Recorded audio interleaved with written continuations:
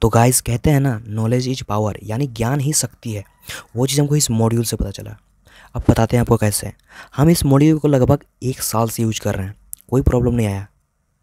आप देख सकते हैं, कई सारे मॉडिफिकेशन भी किए हैं हम इसमें, ताकि हम एक ही मॉड्यूल से कई सारे बैटरीज को चार्ज कर सकें। क्योंकि मेरे पास एक ही मॉड्यूल था। कोई प्रॉब्लम नहीं आया अभी तक, एक साल से यूज़ कर रहे हैं। लेकिन बुरा हमको तब लगा जब हमको पता चला कि इसके बिना भी काम हो सकता था, इसके बिना भी एक ऐसा चार्जिंग सर्किट बन सकता था, जो जो इससे ज़्यादा तो नहीं, ज़्यादा फैसिलिटी तो नहीं दे सके, क्योंकि इसमें बहुत सारे एक्स्ट्रा फैसिलिटीज़ यूज़ किए गए हैं। लेकिन इसका मेन काम तो बैटरी को चार्ज करना ही ना है, और वो चीज़ एक दस रुपये का सर्किट में भी बन सकता था। ये चीज़ हमको जब पता लगा तो बहुत बुरा लगा। क्योंकि कुछ भी ना होने से अच्छा तो कुछ तो हो। तो चलिए आपको बताते हैं चार्जिंग मॉड्यूल जैसा ही चार्ज करने का एक सर्किट कैसे बनाएँ। तो चलिए शुरू करते हैं। सबसे पहले आपको लेना है डायोड इस तरह का, ठीक है? इस तरह का डायोड लेना है। इसका इसका हम जो मॉडल नंबर है, वो आपको हम स्क्रीन में शो कर रहे होंगे, ठीक है? लगभग चार डायोड लेना है और चारों को सीरीज़ में कनेक्ट कर देना है। चलिए आपको करंट कनेक्ट करके दिखाते हैं, ठीक है?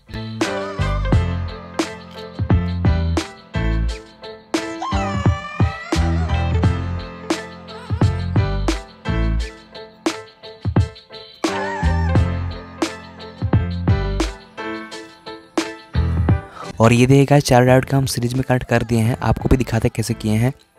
सीरीज़ में कनेक्ट करने के लिए सबसे पहले आपको positive negative positive negative positive negative ऐसे करना पड़ेगा या फिर negative positive negative positive negative positive ऐसे करना पड़ता है। चलिए देखते हैं कैसे किए हैं।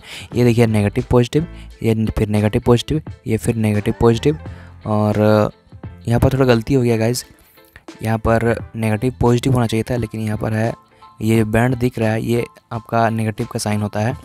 तो इसको होना चाहिए था यहाँ पर उल्टा होना चाहिए था, ताकि यहाँ पर नेगेटिव होता है उधर पॉजिटिव होता। है तो चलिए इसको घुमा देते हैं।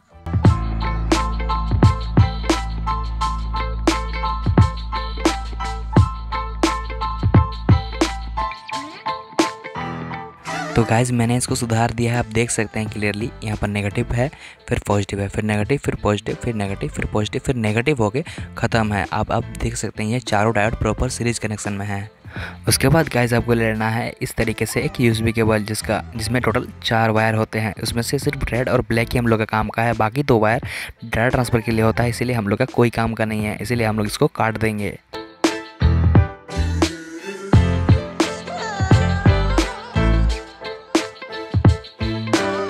तो गाइज़ यहाँ पर आपको हम एक सलाह देना चाहते हैं। आप घर के अच्छे चार्जर में से यूएसबी केबल नहीं काटिएगा। हो सकता है आपको घर से डांट पड़े।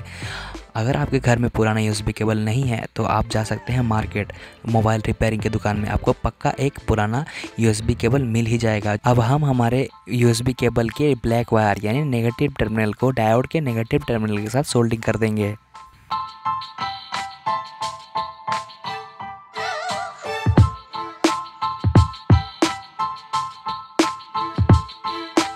लेकिन लेकिन लेकिन गैस हम लोग को पता करना पड़ेगा कि बैटरीज का फुल चार्जिंग वोल्टेज कितना होता है और वो वोल्टेज हम लोग को पता चलेगा इस मॉड्यूल से। तो चलिए चेक करते हैं कि इस मॉड्यूल में फुल चार्जिंग वोल्टेज कितना देता है।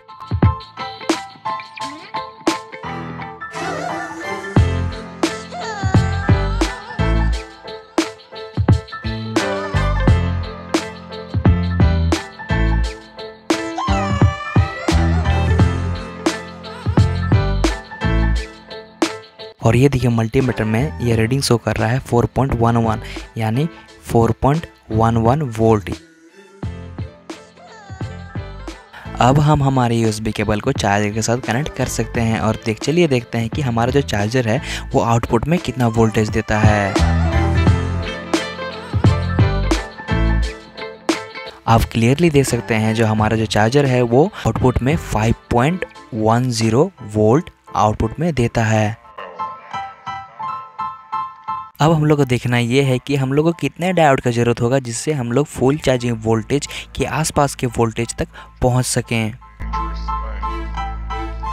आप देख सकते हैं मल्टीमीटर में हमारा जो पहला डायोड है, वो हमारे वोल्टेज को 4.73 तक डाउन कर दे रहा है। अब हमारा जो दूसरा डायोड है, वो हमारे वोल्टेज को 4.38 तक डाउन कर दे रहा है। और हमारा जो तीसरा डायोड है, वो हमारे वोल्टेज को 4.01 तक डाउन कर दे रहा है, जो एकदम परफेक्ट वोल्टेज है हमारे बैटरी को चार्ज करने के लिए। अब चलिए, हमारा जो एक्स्ट्रा डायोड है, उसको खोल के तीन ही डायोड की मदद से हमारा वाई चार्जिंग मॉड्यूल बनाते हैं। ये रहा उस चार्जिंग मॉड्यूल का मिनी वर्जन आप टेंशन मत लीजिएगा गाइज़ ये वही डायोड्स हैं, बस इनके टर्मिनल को काट के छोटा कर दिया गया है। तो चलिए गाइज़ इस छोटे भाई साहब को इसके अपने घर में फिट कर देते हैं और इसके लिए सबसे बेस्ट चॉइस जो मेरा है, वो है एक कार्टून बॉक्स का टुकड़ा जो हर घर में कहीं ना कहीं ज़रूर पड़ा हुआ रहता है। आपके घर में भी कहीं ना कहीं ज़रूर पड़ा हुआ होगा। वहाँ से आप एक टुकड़ा ले सकते हैं। और इसका सबसे बड़ा खूबी ये होता है कि ये प्लास्टिक की तरह जब आप सोल्डिंग करेंगे तो ये पिघलेगा नहीं। आप इसमें रियल टाइम यानी कि बड़ी आसानी से सोल्डिंग कर सकते हैं। और ये देखिए, इसमें छेद भी काफ़ी आसानी से हो गया और और इसमें हम आराम से फिट भी कर पा रहे हैं। और ये देखिए, फिट हो गया। अब चलिए इतना कर ही दिए हैं तो चलिए इसमें दो एलईडी भी लगा देते हैं एज अ इंडिकेटर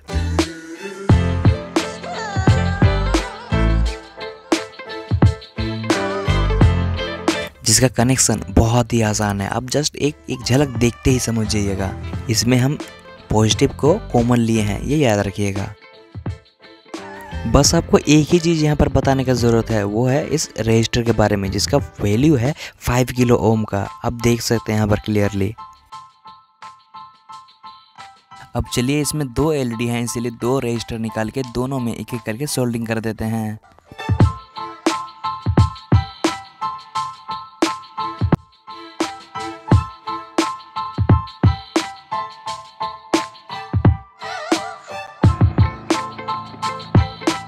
अब चलिए इसमें से आपको इनपुट और आउटपुट निकाल के दिखाते हैं।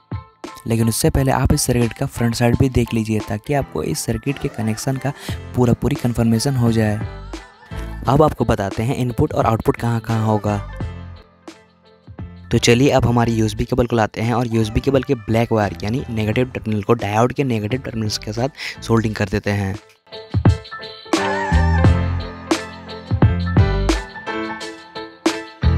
और जो यूएसबी केबल का रेड वायर है, यानी पॉजिटिव टर्मिनल वो दोनों एलईडी के पॉजिटिव टर्मिनल्स और आउटपुट के पॉजिटिव टर्मिनल तीनों के साथ कॉमन है, इसीलिए सबको एक ही जगह सोल्डिंग कर देते हैं। तो गैस यहाँ पर हम लोग को एक छेद करना पड़ेगा, क्योंकि यहीं से नेगेटिव टर्मिनल निकलने वाला है। तो चलिए अब नेगेटिव टर्मिनल को सोल्डिंग कर देते हैं, दो डायोड के बाद, दूसरे और तीसरे डायोड के बीच में। देखिए सोल्डिंग हो गया।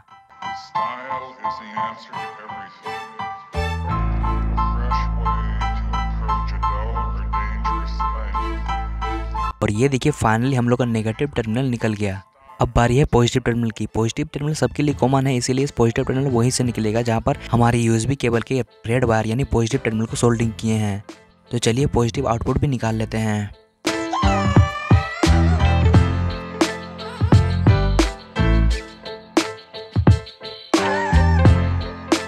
और ये देखिए, हम लोग का पॉजिटिव आउटपुट भी निकल गया। और इसी के साथ गाइज़ हम लोग का जो मॉड्यूल है, वो बन के तैयार है। अब चलिए, इसका टेस्टिंग करते हैं। और अगर गाइज़ आप लोग भूल गए हैं तो आपको हम याद दिला देते हैं कि इसका जो बेस्ट चार्जिंग वोल्टेज है, वो फोर पॉइंट ज़ीरो वन से लेकर फोर पॉइंट वन वन तक है।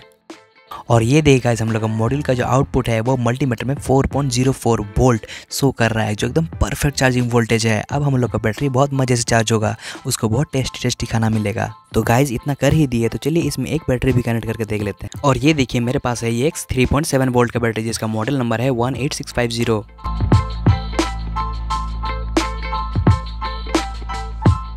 और ये देखिए, इसको हम कनेक्ट भी कर दिए हैं। अब देखना ये है कि क्या ये चार्ज कर पाएगा या नहीं। हमको तो पूरा भरोसा है, ये चार्ज आराम से कर लेगा। और ये दिख भी रहा है। आप देख सकते हैं मल्टीमीटर में धीरे धीरे वोल्टेज बढ़ रहा है। चलिए वीडियो का स्पीड को बढ़ा देते हैं।